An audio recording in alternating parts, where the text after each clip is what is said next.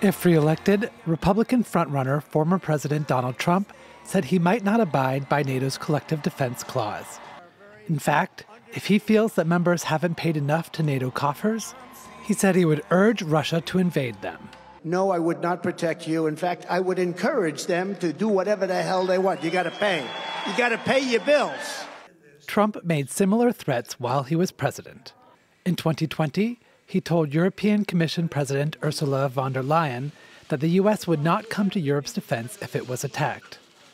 On Saturday, Trump also took jabs at President Biden, calling him a mental basket case after a special counsel report this week indicated that Biden's memory is failing. Nikki Haley, Trump's lone major Republican challenger left standing, said that Trump only wants to sow chaos and that his attacks on Biden are hypocritical.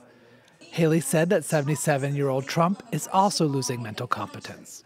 You can look at the same thing, whether it was Donald Trump getting me confused with Nancy Pelosi, his temper tantrums, the things that he's done. It is time for a new generational leader. The party that dismisses their 80 year old candidates is the party that will win president. South Carolina is Haley's home state.